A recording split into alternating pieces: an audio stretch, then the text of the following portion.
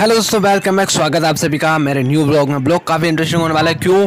क्योंकि हम आगे कुबेश बादाम श्री शिवाय नमस्तुभ्यम। सबसे पहले गुरु जी के चरण में नमस्कार और मैं कुबेश बरधाम में आ चुका हूँ और यहाँ पे आपको पूरी जानकारी देने वाला हूँ कि रुद्राक्ष वितरण हो रहा है, नहीं हो रहा है। क्योंकि काफ़ी लोग आपको दिखाई दे रहे होंगे यहाँ पर रुद्राक्ष के लिए आए हुए हैं और पूजा भी कर रहे हैं कुछ लोग। तो यार इन, जिन, जिनको रुद्राक्ष मिल चुका है वो लोग यार काफ़ी खुश हैं और जिनको नहीं मिला है, वो ये सोच रहे हैं कि रुद्राक्ष अब कब मिलेगा। तो मैं आपको पूरी जानकारी दूँगा। सबसे पहले यार चैनल पे नए और चैनल को सब्सक्राइब करें एंड वीडियो को लाइक करें। तो सबसे पहले आपको बता दूँ कि रुद्राक्ष का जो वितरण होगा, वो होगा तीस दिन बाद।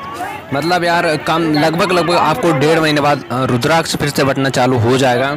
तो मैं रुद्राक्ष बट, बटने की भी एक वीडियो बताऊँगा कि यार कब हो रहा है। तो मैं पूरी अपडेट आपको ला के देता हूँ।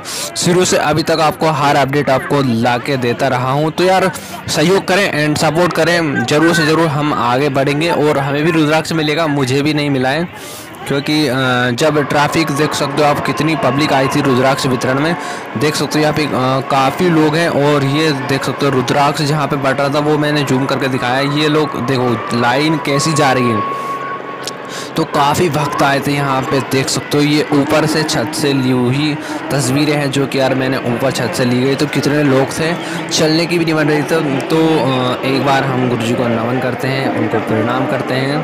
तो आप भी अपने घर से उनको नमन करिए, प्रणाम करिए। महादेव जी की शक्ति है और प्लीज़ सपोर्ट करें सब्सक्राइब करें चैनल को।